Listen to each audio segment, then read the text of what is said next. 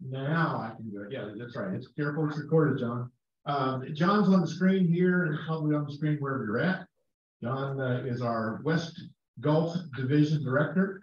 He's a, uh, an elected board member. All of you fine folks elected him two or three or four times. No, probably twice now.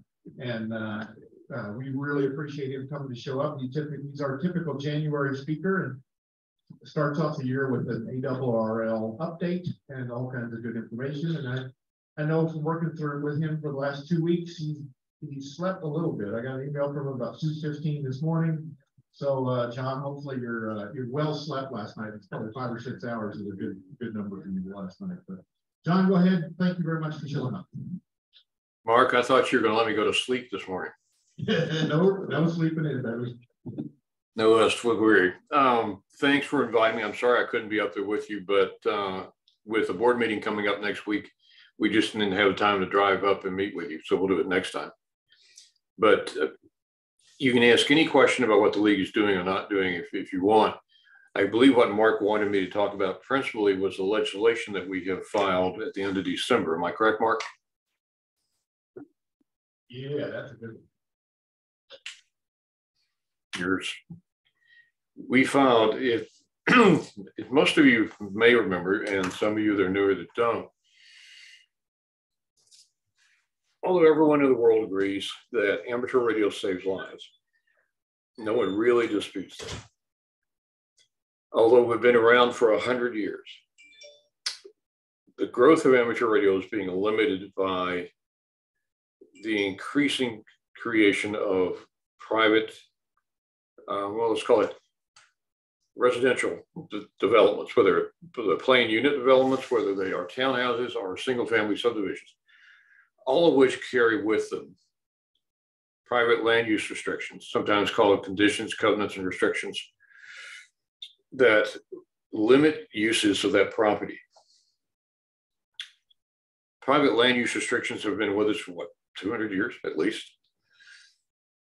They have been used in the past for purposes that were not, that are no longer socially acceptable all of those unacceptable uses were at one point or another removed by either state legislatures or federal legislatures, and they were all removed in the interest of the public good. if you know your history, there are folks in the room, including uh, my ancestors, who under these deed restrictions were, were prohibited from living in certain neighborhoods. People of certain religions have been prohibited from living in certain neighborhoods. National origin, race. All of these have been stricken because they were not in the interest of the public good. But there are other lesser, if you want to call them lesser, restrictions. It's America. Most of us are proud to be Americans. But until 2005, it was not uncommon for cities, counties, and HOAs, private land use restrictions, to prohibit all of us from flying an American flag at our homes or at our businesses. In 2005, Congress had enough of that. and They passed what's known as the uh, Right to Display the American Flag Act. I think it's about two paragraphs long. It's very clear. No one may interfere with the right to display the American flag. By the way, that includes the right to put up a flagpole. Even after that bill was passed, it was not uncommon for homeowner associations to prohibit people from putting up a flagpole. I think there are at least five or six cases across the country that involve Medal of Honor winners who try to put up a flag and their HOA threatened to sue them. The HOA lost. But you would think that would not be something that would be considered a detriment to your neighbors, the detriment to the value of your homes, but yet it was in private land restrictions. It is now a national imperative to seek alternative energy sources. But it is not uncommon to find within the deed restrictions of many developments that the installation of solar panels is prohibited.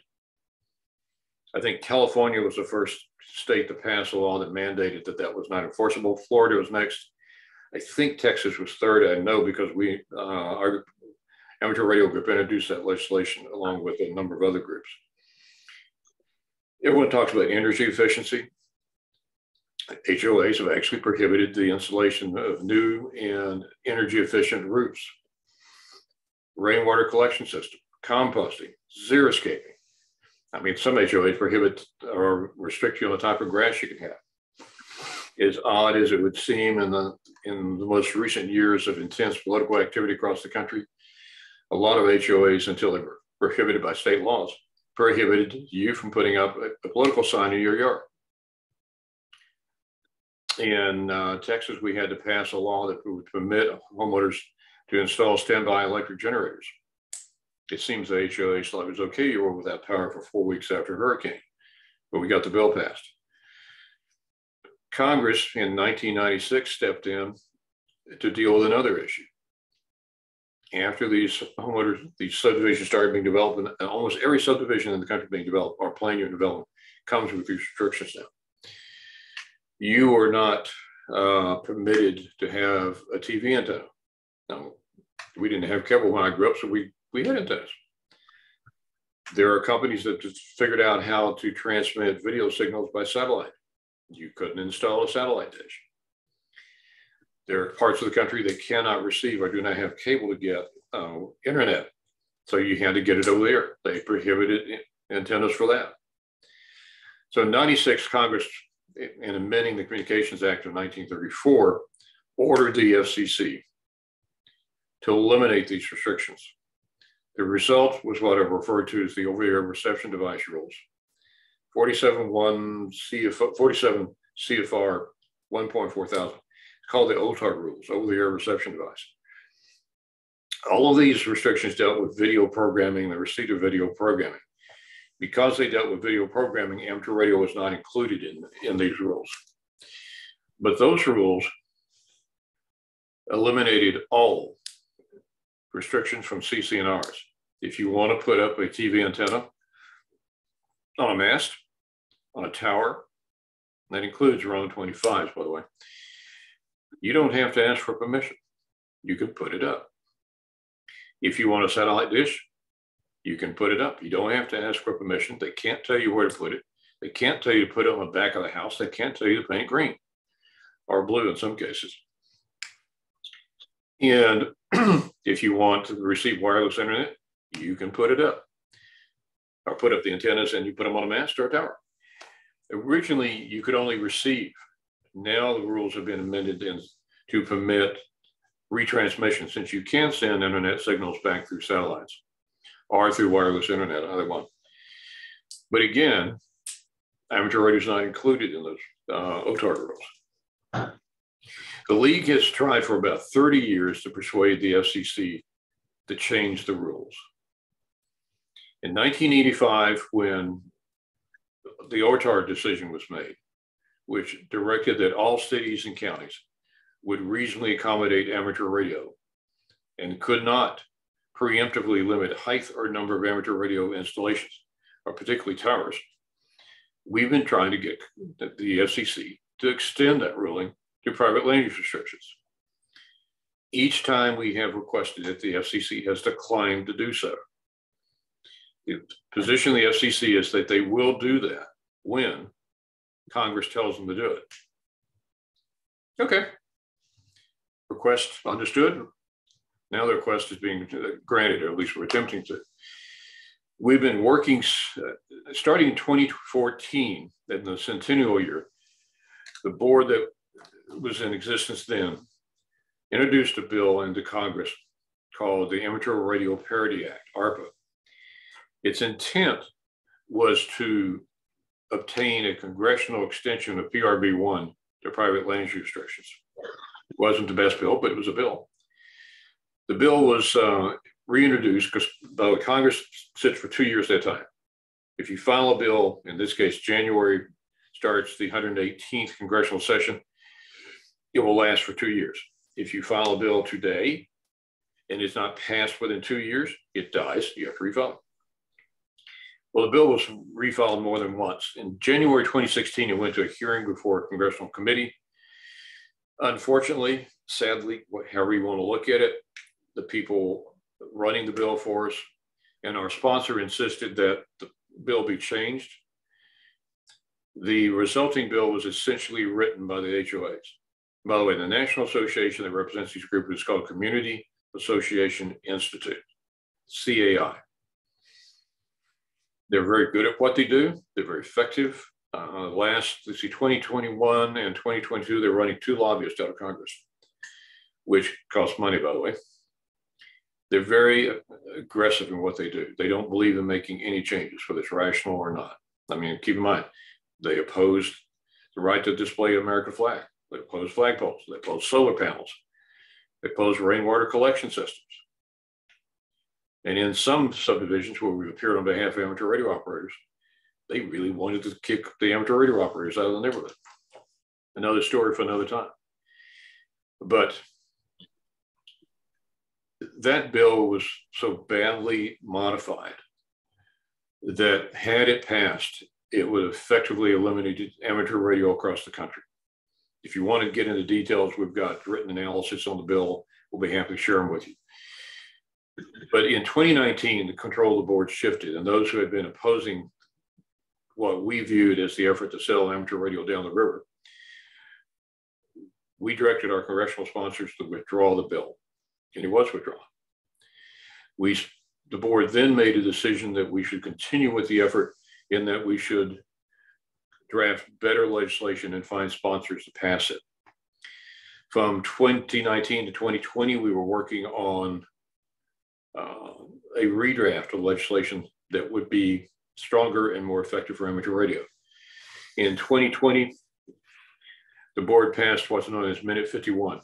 When a board passes a resolution, it's not called a resolution, it's called a minute. I didn't create it, they did. But Minute 51 directed the Legislative Advocacy Committee to finish the draft of the bill and find a sponsor. And I'm chairman of the Legislative Advocacy Committee and have been privileged to be that for um, a couple years now. There are other members right now of the committee, and before we talk about the bills, let me tell you that you need to, if you get a chance, thank them for their efforts. This is not a one uh, horse shop. It takes the effort of multiple people on the board and the committee to do it. Uh, Tom Abernethy, W3TOM, who's now a retired Atlantic Division director. He just retired recently. The uh, former New England director, Fred Hopengarten, K1VR. By the way, Fred is a um, brilliant author, brilliant attorney. He is the author of the antenna zoning book that the league sells. And Fred is co-author of the bill with me. We can talk about that more in a minute. Lee Cooper, who's the West Gulf Vice Director, W5LHC. Um, and we've also been privileged to have our FCC counsel, David Siddall, uh, K3's ZJ, working with us on this. So all these folks have worked diligently to come up with a bill that will protect all of our interests. In we have been searching for years since 2020 to find a sponsor. It's not difficult to find someone who will file a bill for you. That's not worth the paper it's printed on. What's important is to find someone in Congress who believes in what you are trying to do, who believes that the relief you're seeking is important and should be granted. Someone who will not just file it, but someone who intends to pass your bill. We were fortunate in the spring of 2022 to find such a sponsor. Congressman Bill Johnson, he is the uh, congressman for the eastern part of Ohio. He is a retired Lieutenant Air Force Colonel, spent 26 years in the Air Force, worked with Special Operations Command. He's been working, he and his staff, to whom we give a great deal of thanks, as legislative director and his chief of staff have been working with us along with the congressman for the past year to come up with language that we as a group believe we can pass that grants the relief everyone wants to see. the amount of work involved has been fairly intense. Like I said, it's taken a year. We finally reached the uh, language that uh, we think will work. And by the way, it's not just us. If you file a bill in Congress or you ask for legislation, the bill will go through what's known as the uh, Legislative Council Service. The Senate has a version, the House has a version. Their responsibility is to put the bills into congressional format, make certain it doesn't violate any other laws. So we've been working with them too. We received the final draft of that language, I think on the morning of December 22nd. It was filed within hours. And we can talk about the details of the bill in a minute if uh, you've got time and you want to do that. Some people have asked, why did we file at the last minute? Because the moment we filed, it was never going to be granted a hearing and couldn't be passed in the 117th Congress. We filed it with deliberate intent. We have been speaking for years with multiple members of Congress who are interested in amateur radio, and some who've actually sought us out and offered help, and who have been interested in either supporting the bill or being co-sponsors. But mm, it's a little dangerous if, even if you're in Congress, to buy a pig in a poke. While they supported amateur radio and are interested, they did not want to sign on to legislation that they hadn't read. I think we all know that Congress has a history of passing bills they haven't read. The people who are interested in amateur radio did not want to sign on to a bill that they had not read.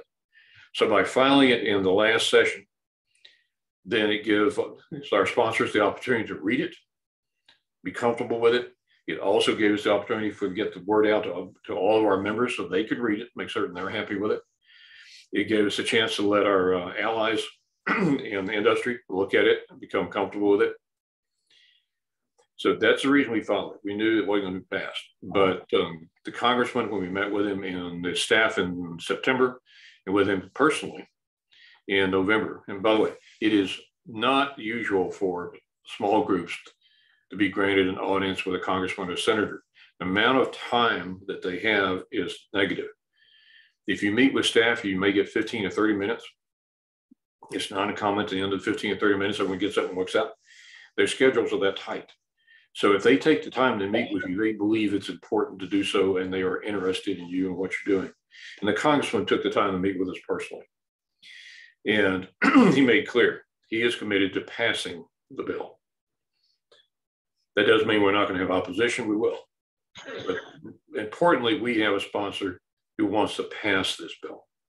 Actually, when we were in Congress in, uh, in DC in November, we had some other congressmen call our lobbyist and say, We want to meet with you.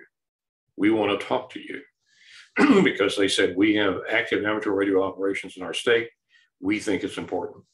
We will probably pick them up as co sponsors once the bill's are refiled. It'll be refiled at sometime in the next week. So right now, they're still picking chairman for the committees, they're picking members for the committee.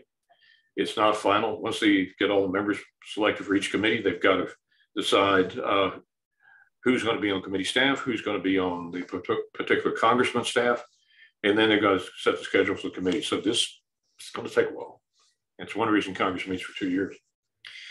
So that's that is the primary bill. It's called HR 9670, House Resolution 9670. When it's refiled, it'll get another number. And we'll tell you what it is. We don't know what it is yet. There's another bill that was filed, HR 9664. That was filed by Debbie Lesko. She is a congresswoman out of Arizona. By the way, her husband is also an amateur radio operator. That bill was designed to deal with the FCC's lack of movement. The league has filed a number of petitions with the FCC to improve or modify our rights. One of them deals with the extension of technician privileges. One dealt with the removal of the symbol rate. The symbol rate application has been there since mm, 2014. It's getting a little long in the tooth. We've met with Congress. David Siddall, I mentioned to you, the RFCC counsel is a superb attorney. He was attorney to one of the commissioners on the FCC at one point. He's worked at the FCC. He's worked at Congress. He actually at one point was a lobbyist. If we wanted some of the representatives of the FCC, I don't think we could find anyone better. we've met with them, we've talked to them, we've pleaded with them. We're not having any success in getting any of these amateur radio matters uh, moved. So, okay, if we can't get the FCC to do it, we go to Congress. So Congresswoman Lesko agreed to file the bill. It's simple. It says to the FCC, you will remove the symbol rate. You will impose a 2.8 kilohertz bandwidth we don't expect great, any opposition to it, and it may result in the FCC actually moving that procedure, uh, that proceeding forward. It's up to FCC. Those are the two pieces of legislation, the most important of which, of course, is in terms of direct benefit to each of us in this audience, it's private land use legislation. And I can keep talking about this forever until uh, Mark and Mark have enough sense to mute my mic. But why don't I stop and let everyone else ask questions if you have any about what we're doing? Anything about Congress and how this is done? Uh, John, Tom Webb, WA9AFM. Yes, sir. Um, okay, we found uh, support in Congress. Uh, what support, if any, is there in the Senate? Two separate houses. That's not meant to be overly simplistic. We have not filed the bill in Senate and we won't. When we'll probably run it through the House first, get it passed, and then move it to the Senate, and then refile. Not only just move it to the Senate, we'll refile the Senate. The answer, the question was, what support do we have? Excellent support. We've got several senior, senior senators, senior in terms of seniority, senior in terms of positions on critical committees that have been supporting us for some time. And those, the two senators I'm thinking about also have been working with us on another matter we can talk about, which is the attempt to eliminate amateur radio secondary rights on three gigahertz. We'll, we'll cover this and then we'll go to that because that's extremely important. It's very dangerous to us. But we they, they have all they have been sponsors of the previous bill, the ARPA bill. It's our understanding they will support this bill. But all this is a matter of procedure. Where do, where do you start? We're starting in the House, but they are going beyond helping us with the bill. They're helping with the FCC, uh, trying attempting to help us with the FCC. There's a, well, skip ahead a moment. There's another piece of legislation we may file. If any of you have been uh, following what the Forest Service has been doing in 2018, Congress passed the Farm Bill of 2018. Why does the Farm Bill affect amateur radio? Because Congress told the U.S. Forest Service to start recovering cost for administering communications facilities in national forests. AT&T, Verizon, radio broadcasters, and amateur radio have installations in, in national forest. Forest Service held a notice of proposed rulemaking in December of 2021. In it, they proposed to impose a $1,400 per year fee on every communications installation. That will wipe out almost every amateur radio installation in the country. If the league filed opposition to it, the Forest Service hasn't made a ruling yet.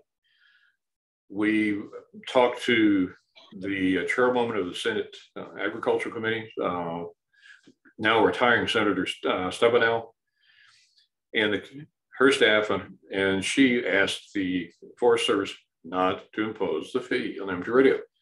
The last we heard, there had been no response from the Forest Service to the chairwoman of the committee. You need to think about that. She's the chairman of the committee that determines what your agency does. And they didn't respond to her. Senator Lujan out of New Mexico on that committee, in fact, the entire New Mexico delegation, sent a letter to the FCC, uh, to the Forest Service saying, do not impose an amateur radio. The entire delegation, Democrat, Republican, and Idaho did the same thing. Do not impose it. I believe there are a number of state officials out of Michigan who also sent letters. So far, there's been no response. So if that fee is imposed on amateur radio, we will be filing a bill in Congress to remove that fee against amateur radio. Now let me stop and go back to, we'll talk about, um, I believe your question, Tom, was about the Senate. We're in good position with the Senate right now. Though when ARPA went through the Senate last time, it was stopped principally by Senator Nelson out of Florida. He's no longer there but he wasn't actually alone. There were some other senators who were standing with him to prevent the passage of an amateur radio bill. They are still there. So it's not, this is not a free walk on the park. But the senators that are behind us, the ones last time, Senator Wicker was one of our strong sponsors. Senator Blumenthal was a strong sponsor. We expect that they uh, will be so in the future. They have been very, very active on our behalf uh, with the FCC. We're very proud of having both of them as our sponsors we're fortunate to have both of them as sponsors. Did I ask answer that question well enough, Tom? Uh, yes, as a follow-up, uh, in terms of the House, what can we do or not do locally to uh, help move this along? When we refile the bill, uh, give us a couple of weeks. At that point, once it's official, we have the new bill number. We will also know who the co-sponsors are. We, we're talking, this is a bipartisan bill. ARPA was a bipartisan bill. This is not a Democrat bill. It's not a Republican bill. It's, there's no politics to this. So when we refile, we'll have sponsors on both sides of the aisle. Once that is refiled, then we're going to send the word out to the membership. And that's when we want the membership to start contacting their particular congressman, going, would you please either support it, vote for it, or co-sign? Once the bill is filed, if um, Mark Markatama and I are the sponsors of the bill, Dwayne, Peter can sign up after the bill is filed as co-sponsors. More co-sponsors more people committed to pass it. The other thing that is helpful, will be helpful, besides contacting your congressman, and probably more than one time, will be to consider making a donation. This, we've got a lobbyist. Uh, they actually think they know what they're doing, and they think we ought to pay them, which we can be on a regular basis. They're, they're good, by the way. Uh, we're tickled to have them. They're, they've been successful in finding sponsors for us we pay them regularly. If you go to Washington, which we have to do on a fairly regular basis to meet with staff and congressmen, our senators, you might as well go to London or Paris. It's about that expensive. You can pick a hotel room that will cost you $200 a night and on Monday. A week from Monday, it'll be $699 a night. It just depends on what's going on in Washington. we've got those expenses. We've got, uh, we will have expenses in terms of getting uh, support, getting information out to members. We have money in the budget. Uh, in fact, in the next week, the board meets on the 20th and 21st. Those official meeting days. The committees will meet next Thursday. And one of the items that occurs in every January is the approval of the operating budget for the next year. And one of the items in the budget is approval of the funds for the legislative efforts even though we have the money in the budget, we allocated it, it's always helpful to have donations that go toward that so we don't have to spend operational funds for this. We created, when ARPA was alive, a legislative advocacy fund that was extremely beneficial in covering the cost of going to DC and meeting with folks. So it, it, if you remember in some of the previous political campaigns over the last what, eight years, money was raised at $2, $3, $5, $10. Even small contributions add up. I mean, we are joking the other day that if ever one of our members were to buy a hamburger and donate that money instead to the league, what a Big Mac mark is five ninety nine. If everyone did that, it would completely cover our costs with extra. So, do not send hamburgers to headquarters. By the way, the refrigerators are too small. So it, there, there, are two principal things. One is when we call you, talk to you, You contact probably email. If you send a letter, it goes to a particular facility in uh, Maryland to be processed for uh, anthrax, all sorts of other things. It takes six weeks plus to get a letter to a congressman. Uh, if you call, they record every call you make. If you're a constituent and you call Senator Klein, they note you are a constituent. If you're not a constituent, they'll note it anyway. But the strongest support, the, the people to whom they look are constituents because you vote. You also can make donations to their campaign. You're important. It's not that they don't have any respect for others. It's just people up there run for Congress or the Senate because they think they can do something good. But in order to get there, they need two things money and votes. So constituents calling in count. You don't have to call, you can send an email. We'll give you the address to send emails. We may, as we do with ARPA, uh, actually let you print out uh, or sign up for a letter and we'll print the letters and deliver them. We can hand deliver letters to a congressional office and they don't go through an anthrax facility. And until they get enough sense to keep our lobbyists and us out of Congress, we we can hand deliver. So that's where we'll, we'll go. We'll ask you for help. It was very, very effective last time. You would think that I'm the guy sitting in the back of this room listening to this. Mm-hmm. What difference does it make whether I send a letter or make a phone call? It makes all the difference in the world. Elections recently have been decided by 10 votes, 20 votes, 30, 50 votes.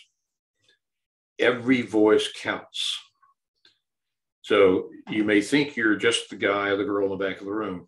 You're not. You're the guy and the girl in the back of the room who may make a difference. It, it counts. Um, I'll give you a short example. Some of you've heard it before. I ran the legislative program in Texas. We were having problem with a committee in one year. There were 27, I think, what they called wireless communication device bills. Translate them as cell bills. They were identical. Had they passed any one of them, it would eliminate the operation of mobile amateur radio in the state of Texas. In the previous session, we had persuaded a Senate committee to, to acquire the language favorable to amateur radio be included in those bills. Next session, when they refiled, they ignored the Senate directive. We had been attempting to meet with the chairman or the members of that committee to ask them to include the language. Had no success. So David Woolley was, was uh, director the time, I was vice director. On Thursday afternoon, before the, I believe it was Monday hearing, we sent an email out to the entire, uh, all three sections in Texas and asked everyone to send either a fax, gave everyone the language, or make a phone call with the message. Please call these committee members and the chairman's office and ask them to include the language. Everybody did. We went down to the chairman's office. I think it was Monday morning or Tuesday morning, when the hearing's going to be held. We walked into the chairman's office and the phones were ringing and everybody was busy running around. There's this tall, very lovely lady in the back holding a sheaf of papers about an inch and a half thick. We asked to speak to the chief of staff. She was the chief of staff. When she heard we were the amateur radio, she walked across the room with purpose, stopped in front of us and waved those papers. She said, These are yours and those phones ring in the background, they're yours. Tell your people the chairman got the message. No bill will pass out of this committee without your language. Okay, that was the fun part. But we walked out in the hallway to go see some other people, and we had people running up to us going, Would you please ask your people to stop making phone calls? Short version is so many of our people called in and sent faxes that they overloaded the phone system at the Capitol. They shut it down. The point is that can be done anytime, anywhere, if you want to do it. I don't think you shut down the congressional phone system, by the way. It's, it's pretty robust. The point is your voice carries, whether it's in an email, it's a telephone call, you can make the difference. You, and the last time, remember this, the ARPA bill passed the House twice by voice vote. It got killed in the Senate. So we have good hope we can do it again long-winded way of answering your question, but I hope I've made it clear that everyone sitting here has the ability to help us pass this bill. And if you make a contribution, if you decide to send one in, be sure to mark it as legislative advocacy fund because that means it's earmarked. It can't be spent for hamburgers in the cafeteria. It can only be spent for what we're doing. Yep, other questions? Those are good questions, Tom. Are you challenging us not to uh, take down the phone system? I'm sorry, I couldn't hear you. Say again. Are you challenging us not to take down the phone system? So that, your question is coming through and it's a little muddied. Try again. So I'm sorry. Okay. Uh, are you challenging us not to take down the phone system? Because we could probably do it. Well, I'm not telling you not to. Uh, hey, trust me, when the phone system goes down, you have everyone's undivided attention because no one can talk, no one can sense anything. So yeah. Anybody have a question in the room? If we take down the phone system, maybe they need the radios. Yeah, that's true. If we take down the phone system, our amateur radios will get them in trouble. Any question? Nothing here. Wait, you got one coming forward. That's one. Yes. Can you say any more about the, is it three hundred gigahertz, uh, legislation? Uh, yes, three gigahertz if you have a cell phone in your pocket, and you do, or it's on the table, the use of those is growing dramatically worldwide. It's like standing, everyone trying to go through a door at one time. The bandwidth's not enough to let the entire group to go through. Same thing with cell signals, which the best evidence of that is whenever there's an emergency or a uh, weather event, cell system goes down because it gets overloaded. The cell companies make a lot of money off all of us carrying these little devices. They want more frequency. Guess who's got it? United States military and us. We're secondary, almost everything above 30. And primary is the, the United States military. And the rules are simple. We can use it anytime we want to, provided we don't interfere with the United States military, which has worked out for what, 60, 70 years? Well, Congress has authorized, or has authorized once and is trying to authorize again, the FCC to sell part of the three gigahertz band. They authorized them to sell 345 to 5. They did. Moving the military off primary and putting the cell companies in as primary. Okay, what difference does it make to us? We can still remain secondary as long as we don't interfere. The FCC removed our secondary status. We objected to that in writing. Their explanation of why they did not retain us on secondary status, you can read it, it's published, it's a little inconsistent. In Hawaii and Alaska, they're not auctioning off 3455, And they don't propose to auction off the other frequencies either when they get permission to do so. They still took us off secondary status in Hawaii and Alaska. And if you think Alaska is not amused, you're understating their lack of interest in this. well, there is a bill that came through the House. It's passed the House, it's down the Senate. Well, both of them are being refiled, by the way. It grants the FCC the authority to auction from 3 3 to 345. We have been at the FCC, we're not going to win that argument, but we've been at Congress asking the committees that are dealing with that to amend the bills to put a provision in that says amateur radio will retain secondary status or to put it in the committee report. The difference is if it's in the bill, it's law. If it's in the report, it's a recommendation. I mentioned our two strong senators, Senator Wicker and Senator Blumenthal. They've been working diligently to see that one of those two happens. The passage of legislation is, is a remarkably complex and dynamic matter on any subject. On this subject, it's very involved. There are multiple interests. The House bill passed. The Senate has declined to accept the House bill. They don't like what it says. There are a group of key senators on the key committee that has to pass the bill who don't even agree amongst themselves. They're all doing what they think is right, trying to come up with a bill that's in the interest of what they think is the country, but there's disagreement. So it's held it up. So instead of passing in the last session, it's going to come back up for consideration again, which gives us the chance to try and hold secondary status. Why do we care? besides the obvious. We've never been removed, to my knowledge, I'd have to talk to David Siddall be certain, on secondary status before. The military has asked us to move, which we've done. But if we can be kicked off secondary status on three, three to three five, let's stop them from kicking off secondary status on any other frequency. There is there is an interest right now in reassigning the use of 10 gigahertz. If you remember, the French tried to take over two meters a few years ago. They were crushed, but it doesn't mean they're going to stop. Not necessarily French will try. But if there are only so many frequencies in the world, it's kind of like real estate, Will Rogers said, they're not making any more of it. So there will be always an interest in taking that which someone else has.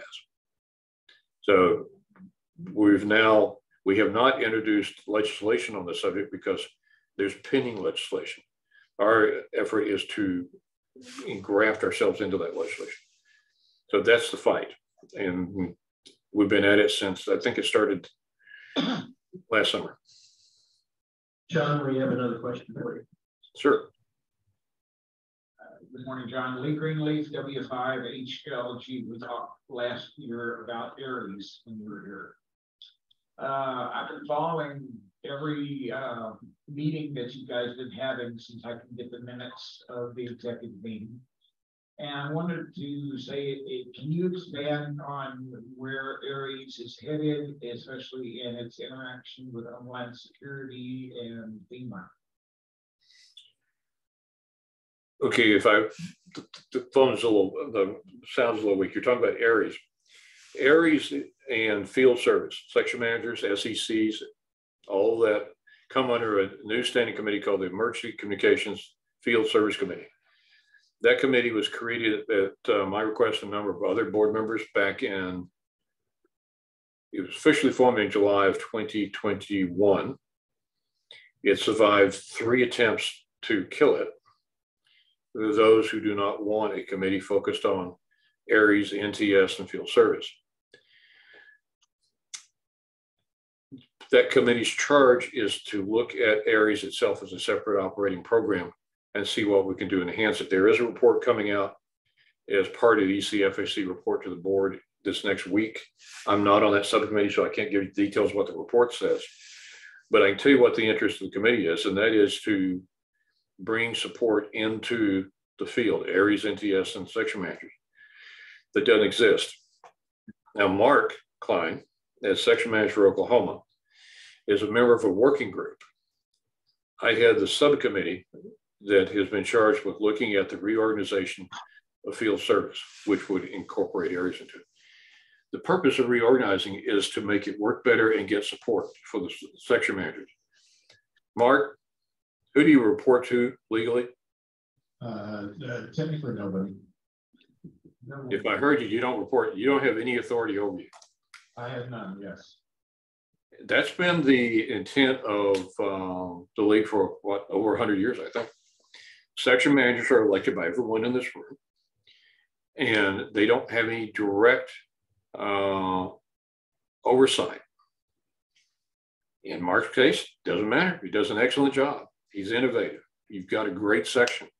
We've got three good section managers in Texas. That's not true everywhere else in the country. There are people who get elected who do not have the talent, the vision, the drive of the West Coast section managers. Part of their problem is they don't have enough support from headquarters. But in terms of, you know, think everyone's got a boss? The boss for the section manager of the people sitting in this room. If Mark needs help with something, there's no he has no legal basis to ask me for that help. And even though I'm division director, I have no direct ability to grant, except on a personal basis, that help.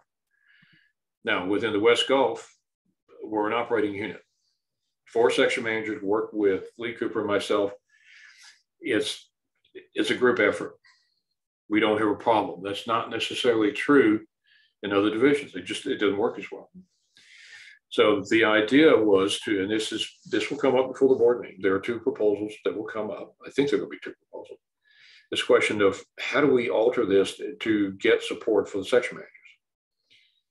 Those two versions have been discussed. If you read the minutes of the EC FSC committee, in addition to the EC committee, EC executive committee, EC FSC's executive or emerging communications committee, you'll see these matters discussed in those in those minutes.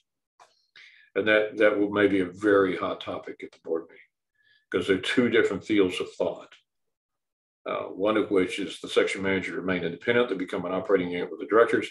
Another uh, field of thought is the section managers are transferred to uh, working directly under headquarters. The board will make that final decision. There's been a lot of disagreement over it. Did, I know if I answered your question well enough on ARES, but part of that on ARES there are there was an ARES 2.0, I think, uh, manual put out.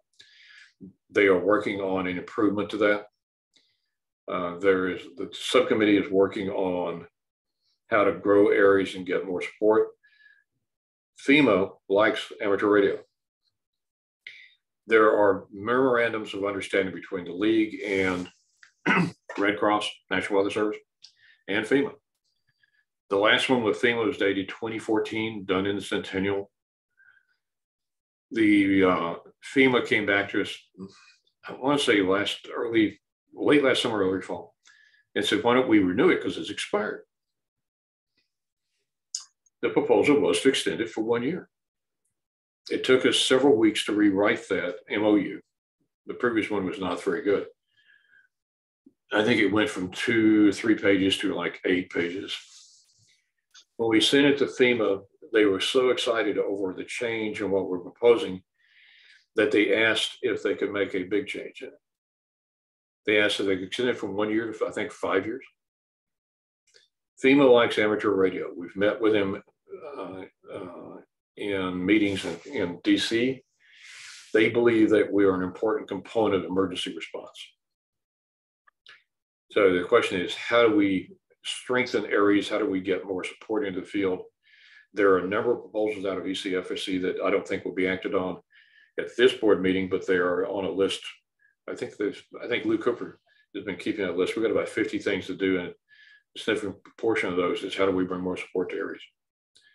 So a lot of what happens with ARES will be in the future because we're trying, we're having to reorganize so much because for decades, ARES was not a high point of interest at headquarters. We're trying to change that.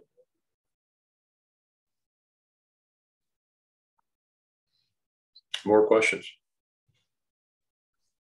John, Tom Webb again. Uh, is there any movement to uh, have 60 meters opened up to just broad spectrum or do, are, are we still stuck with channelized uh, service?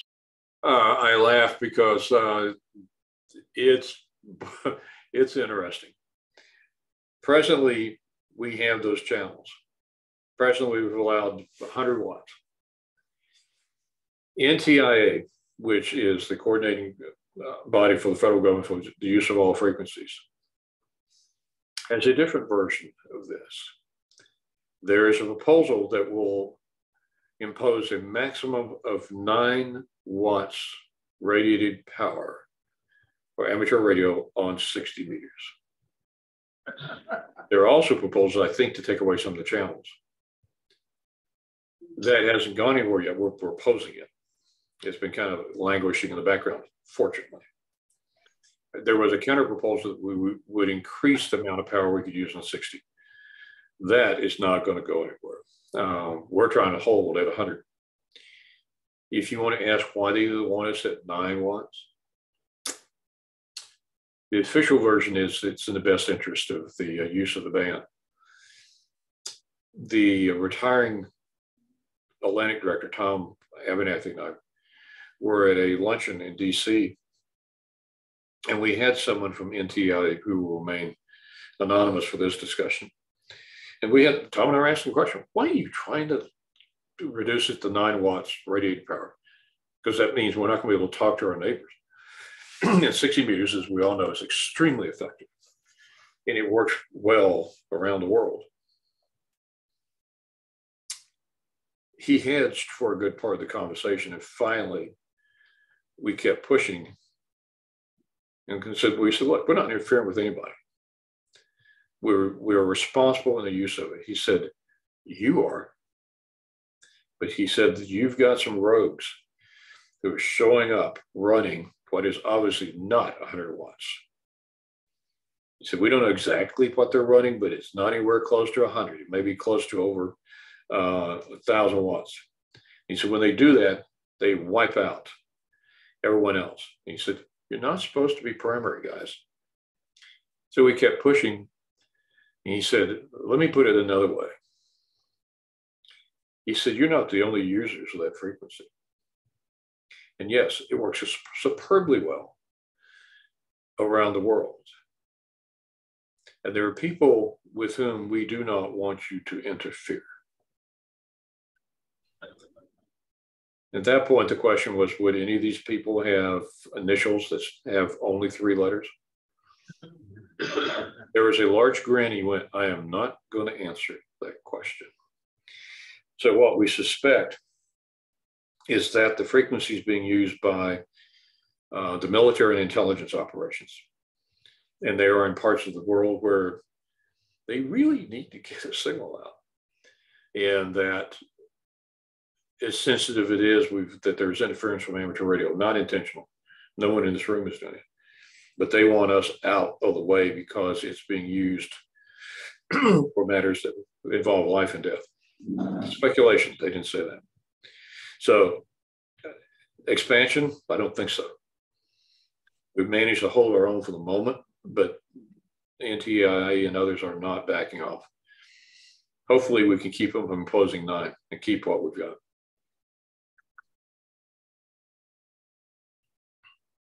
Other questions? John, you want to talk a little bit about uh, volunteer on the air or you want me to do it later or what? No? You want to start? You want me to start? Uh, go ahead. I'm gonna blame it all on you anyway. Yeah, yeah, unfortunately, you're right. But if your meeting goes the right way, it might be even worse than that, yeah. Go ahead. Does everyone in the room know what uh, volunteers on the area is? And I can't see you, so Mark, and Mark, you're gonna have to tell me how many people raise their hands.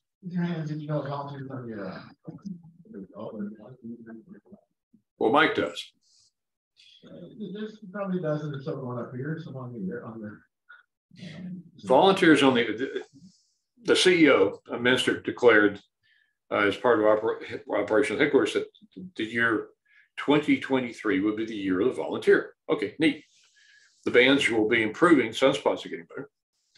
Well, as part of that, there was a discussion well over a year ago about starting an operating event. Because I was meeting with PSC trying to get it done, and it's morphed into now what's being called volunteers on the air. If you remember in 2014, we ran an operating event where W1AW slash fill in blank rotated across the country. People were given permission to operate as W1AW slash portable five, four, three. And it was an extremely popular event. When you got up in the air, if you talk to Mark, or you talk to me, or Lee, or anyone else who has a, a volunteer position in the league, you would get points. And it was an effort to see who got the most points and who won. Now, if you talk to Mark, you got negative points. If you talk to me, you got positive points. it was very popular. and that, so it's a version of again, W1AW slash is going to walk across the country. it will be in each state twice during a year for a week, starting on a Wednesday night, ending on uh, Tuesday night. That's the idea. And it was supposed to be set up so that each state would end up with coordinators, end up with volunteers to operate in time slots. You can operate on any band. Uh, I'm sorry, on any band except the WARC bands at 630 meters and on any mode. Okay, simple, right? If you look around the room and realize that not everyone's hand went up, you're looking at the problem. This was the decision to do this was made mm, in the spring, summer. Programs and Services Committee is in charge of these matters. They uh, decided to do it. They told headquarters, this is what we need to get done. Go get it done. The first notice that really went out to the members was January QST, two pages. If you look to the link that was given to you on the second page, the link went to a blank web page. So it wasn't organized well. And I apologize. It's not the director's fault or it's not the section manager's fault. As much fun as I have blaming stuff on Mark, it wasn't organized. We're scrambling to get it organized. the first two states were supposed to start in the first two weeks of January. I think I know Virginia dropped out because they had no notice. They couldn't get it organized. Mark has done an excellent job of getting it organized for Oklahoma. He's just he is the uh, coordinator for Oklahoma. Steve Smith, North Texas Section Manager Coordinator for Texas. Mark has developed a sign-up sheet that is probably the best one in the country. In fact, as soon as we later today confirmed that it's stable to his satisfaction, I've already told the rest of the board that we're going to, loan that out to the rest of the country because a, a lot of the sign-up programs are not very good. But and Mark, if I get this wrong. Everyone, anyone who wants to apply can contact Mark, go online to the sign up sheet, sign up for a two hour block on a band for a mode. But you can't do it willy nilly. You've got to uh, get uh, final approval from Mark. There's a rumor that Mark is asking for money, but I don't know anything about that. We'll have some money, yeah, that, that would be good, yes, sure. The, uh, the, if you, on the page that Mark's got, and he, I think you've already released it, Mark, to the the division, or to the Right. section, you know. But if you go to that, it lists out the points that you can get for talking to anyone. It also lists out all the important people in Oklahoma and the points beside their name, I believe. If you look at that point chart, it's not what we would prefer. Uh, I've been talking to Mike Ritz, who is chairman of the Program Services Committee. uh, I don't know if we can change that point list. It wasn't drafted by PSC. It's the old 2014 list. We're gonna, I, I believe Mark intends, to Mark, I'm sorry, uh, Mike intends to bring it up at the uh, PSC meeting next week to see if we can alter the points. You'll note that employees at headquarters have more point value than people in the field. And It's my personal opinion that everyone in the field is more important than the employees. I mean, if you look at life members, life members worth two points.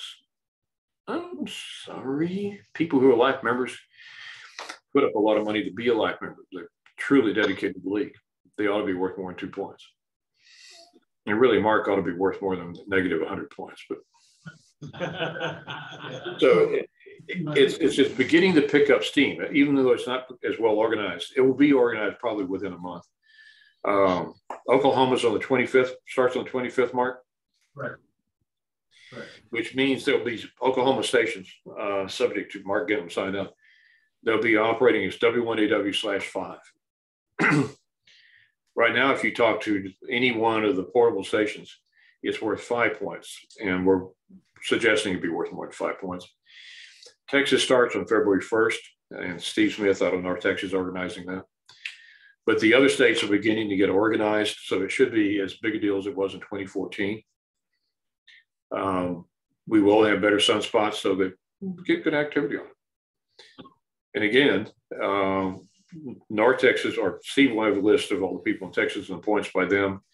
The other division directors and section managers will be doing the same thing. It'll be set up across the country. You have to use Logbook of the World to record your uh, contacts. So if you don't have an account, contact headquarters, get one. And it's supposed to automatically add the points into uh, your account. Yeah, The, leader, the leaderboard that should have been up months ago is not up yet. it's on my screen. You forgot to have the little guy with the shovel, the animated shovel, like it's 1992. You're right. The uh, And I am a li- I am a life member, so am I. So, um, and it's Mark? embarrassing. Uh, we agree. So it should, 2014 was hugely powerful. We think we'll be again once we get it set up and running. Um, there are people already operating, uh, are making contacts on, under volunteers in the air. They're not necessarily contacting W1AW stations because they're not up, but they're contacting each other. They're- It's, it should be a good event. And we may, we don't, we don't have time yet, but when, uh, particularly when Texas rolls around. We did it the last time. Uh, and, I- and Mark can do this if you want to. We would put a number of people in the room with badges. So if you hit one station, you would pick up five, six people, get all the points at one time. But that's the event. Uh, yes, and it, and we'll talk about it later here, um, but, uh, appreciate the, uh, overview. Anybody else have any further questions or follow-up? Online or in person? It's quiet here, that's good deal. Anything else, John, that you wish to add that you want to go on? Mark, you know better. You're asking an employer who makes his living talking if he wants to keep talking. I mean, that's dangerous. No, uh, I think we've covered the, the important topics. The board meeting is next week. Any number of things may and will happen. Uh, I'd be happy to come back and tell you what the board did or didn't do.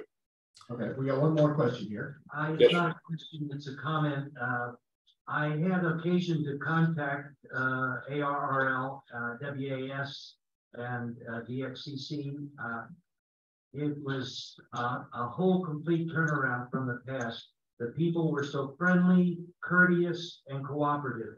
And I think some kudos need to go to, uh, whoever's helping to uh, the street accord. We've been making a good effort, trying to get the new CEO to do it. making an effort to, to see to it that when members call, they get a, a quick response and that people are have a better attitude. And that's been paying off. We've got some we've got some people up there that have been there a long time. They enjoy it, and those are the ones you're talking to. They're they will be very helpful. I'll pass the word on that. Somebody said nice things. Yeah, fire that person. Good God. Possible. But uh, I, I, I think I said in the beginning, but let me make clear that Mark's doing an excellent job as section manager. Uh, he is that working group in order to determine how we would reorganize field service. Since I was chairman, I recommended that we form a group of section managers. Since we're talking about revitalizing or changing field service, we thought it kind of important to ask the people whose lives we're going to affect. Mark is one of the 12 on that working group, and his input has been extremely valuable. I interrupted Mark or you or somebody else. Uh, no, I was gonna say the checks in the mail is what I was gonna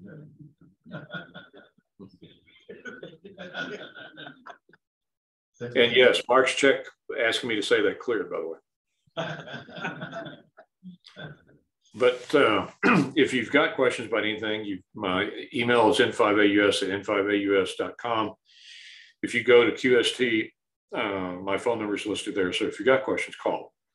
If it's if you want to complain, call Mark. If you want to say something good, call me. Works that way every day. Thank you very much. It does. But I appreciate you taking time on a Saturday morning to let me come and talk to you. But again, if you've got questions, uh, yell at us. Watch for us sometime, probably in this January, February. We'll be coming back asking for help on the legislation. It gives us a chance to alter the future. And you're going to be a key part of that. Thanks again. Let's thank John for being here this morning and giving us a update. Thank you, thank you, sir. We appreciate it. And you want to stay meeting or not, or go to sleep. Your choice.